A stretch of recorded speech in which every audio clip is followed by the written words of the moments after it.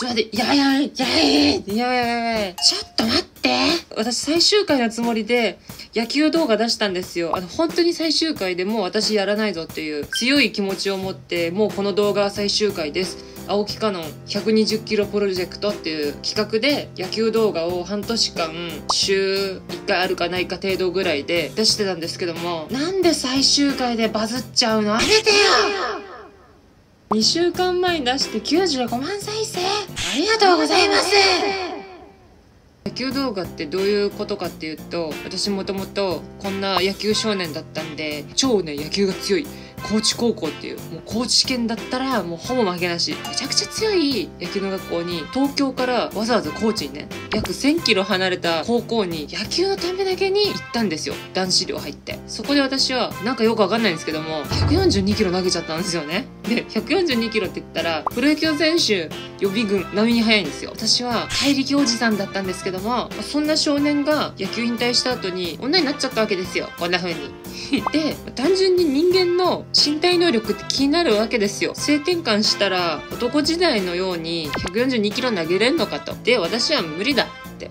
思ってたのね。この120キロプロジェクトの第1回目の撮影で102キロだったんですよ。で102キロって言ったらさもう小学生でも出るの。だから私のなんだろうもうプライドとかはないですよね。なので私はあ女になったんだなと。嬉しさと同時に昔あんなに速い球投げてたのにもう投げれないんだなってっていう一末の寂しさも感じてたんですね。ただ今 YouTube でこうやって女の姿で配信してるから怪力っぷりを見せてしまったら不都合が生じてくるわけですよ。やっぱり見てくださってる視聴者さん半分ぐらいが男性なので女らしさを出してモテたいっていう気持ちもあるわけですよね。なので一応動画内では全力でやりますよもちろん。手は抜かないんですけども思いっきり「ふっ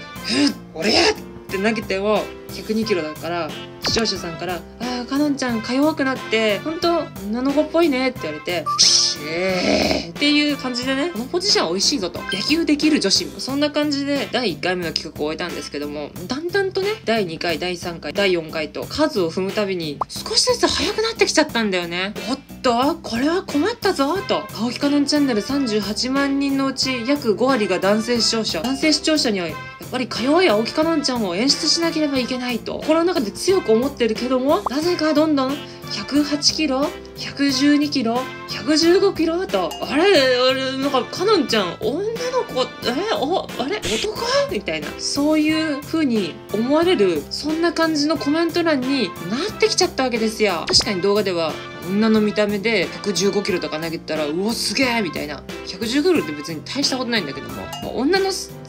姿で投げてるからすごい褒めてもらえるんですよなので美味しいなと思うと同時にだんだんと惹かれ始めてきてあれかのんちゃんって女の子なんだよねあうんうんうんみたいな。やっぱ、元男？みたいな。え、彼女女の子なんだよね？って。うんもしかして元男のこの、やっぱり元男の子？っていう、そういう空気感がとてつもなくコメント欄で繰り広げられてきて、よし、さすがのこの青木でもまずいなと思ってきたわけですよ。ただね、私はその女子らしさを演出するために手を抜くことは間違ってるなと思っちゃうタイプなので、ただ、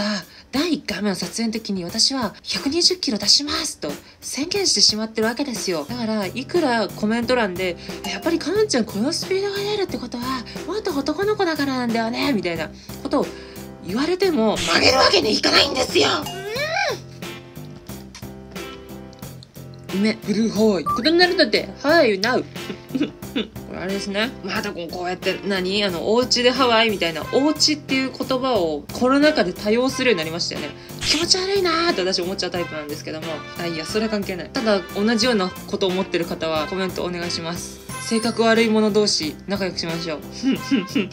で迎える最終回ですよこの前のやっぱり最終回にはスペシャルゲストを迎えたいっていうことで東海大相模高校ってもうみんな知ってるあれですよジャイアンツの原監督の母校めちゃくちゃ有名な高校だよねこの前も甲子園優勝したしで2015年に甲子園優勝した代のブルペンキャッチャーの浜竹さんっていう方がいるんですけども浜竹さんが私がいつもそのピッチング動画撮ってるバッティングセンターのスタッフさんなんですよ。まあそういう縁もあって、最終回キャッチャー僕やりますよ、みたいな。いい音出しますんで、みたいな。取ってもらったんですよ。確かね、1球目ぐらいに102キロ私投げたんですよ。で、102キロを取った浜竹さんが、んなんかおかしいぞと。これ102キロなのかって。キャッチャーあるあるっていうか、まあ野球人あるあるかもしれないんですけども、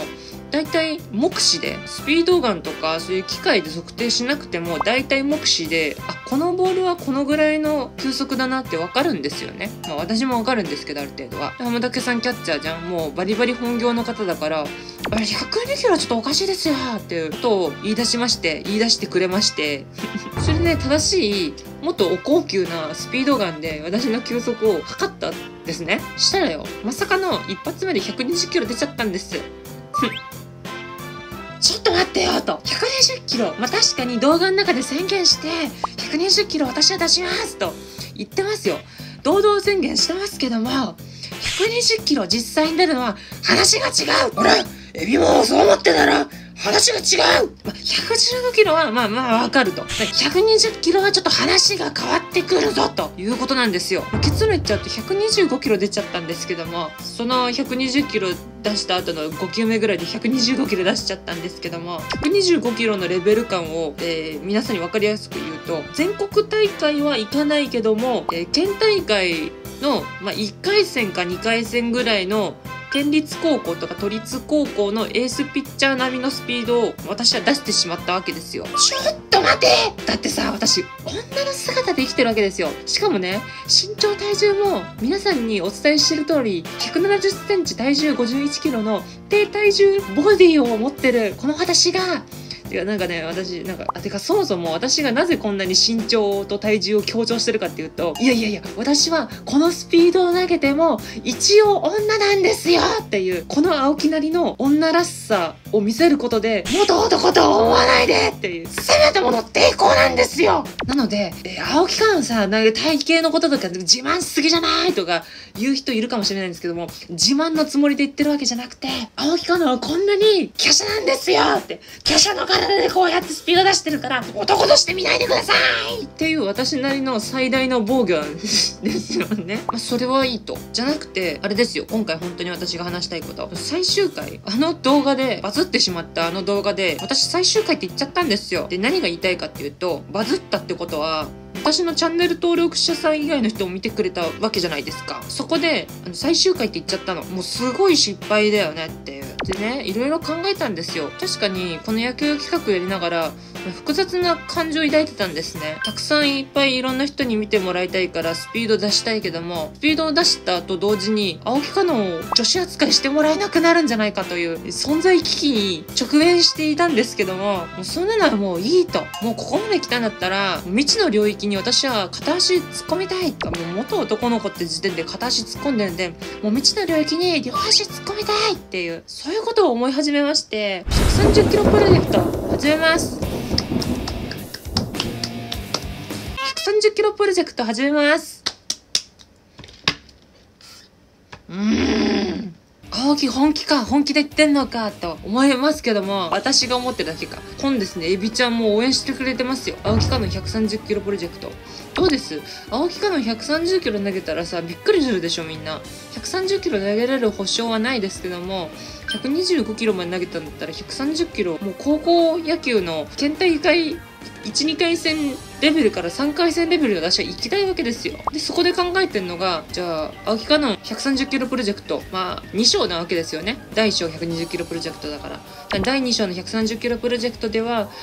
なんだろう、1章とはまた違った例えばプロ野球の選手に投げ方を実際に教えてもらって本当に130キロ出しちゃうみたいなわかんないですよメジャーリーガーを動画に呼んじゃったりとか、わかんないですよ。青木観音どこまでできんのかという限界をですね、皆さんにお届けしたいなと思ってるわけですよ。なので、ぜひですね、前回出した最終回と言ってしまった、もう勢いのあまり言ってしまった最終回のあの動画見てくださった100万人近くの皆さん、38万登録だから、60万人ぐらいの視聴者さん持ってきてください。で、私を100万人登録に連れてってください。なんで、青木かなもうこんなね、寝起きの姿で堂々宣言してますけども、まあ、エビちゃんと一緒にこれからこの青木頑張っていきますので、ぜひですね、チャンネル登録と応援と高評価お願いします。えー、今んとこ、東海大相模のキャッチャーの方が準レギュラーになってくれることは確定してるので、気持ちいい音でパチンってキャッチング音を皆さんにお届けできると思うんで、